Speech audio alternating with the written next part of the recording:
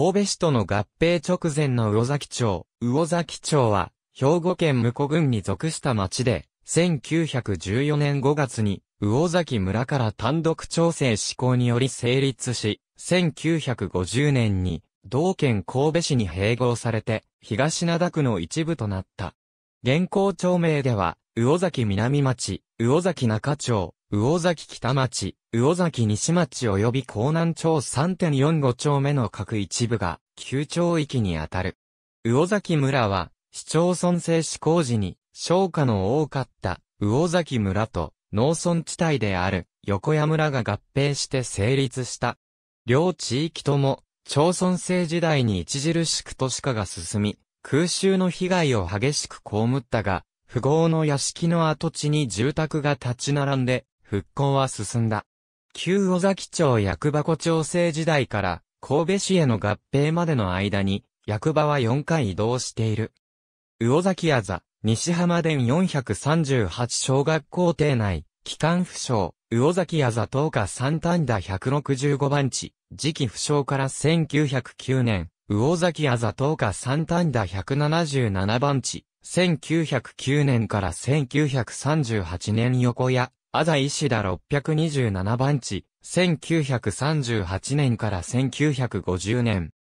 最後の町役場は合併後は、東灘区役所、魚崎出張所、1957年7月から、東灘市民病院、1972年9月から、中央市民病院東灘診療所、1976年からは、東灘文化センター、1992年からは、東灘区民センター小ホールとして使用中。東灘旧五町村の役場のうち最後まで残る。現住所、兵庫県神戸市東灘区、魚崎中町4丁目3の16。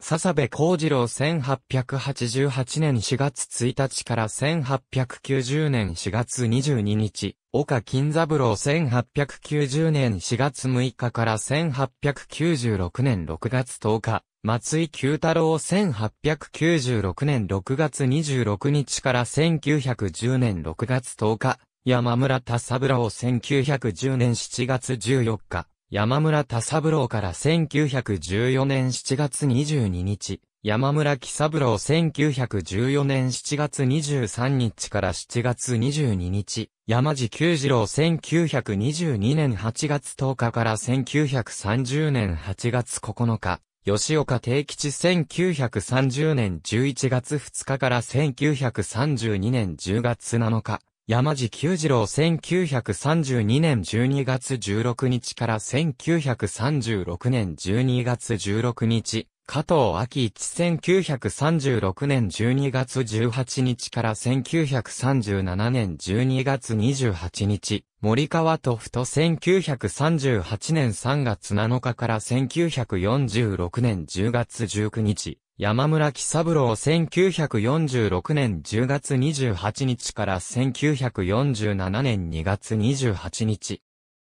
山地久次郎1947年4月8日から1950年3月31日上、不幸図上今、平中三単打下三単打登場三単打正常、三単打最下三単打東下三単打不明辻の、内東屋敷上、松原上川嘘川下川嘘川下、松原島崎大仙店川店下川沿い大外、浜田西浜田街、浜田五百地中浜田浜田不幸相物置城内殿、六丹田八の坪久志賀殿松本井出県基町の坪川中井上切食い新福道五西の坪瀬戸原、堀道下石湯宮の西寺の西古屋敷、西田北西殿、沢村西浜鳥新田見新田木、聖河原新田岡原青木全溝崎、高田南工事北工事神楽岩。ありがとうございます。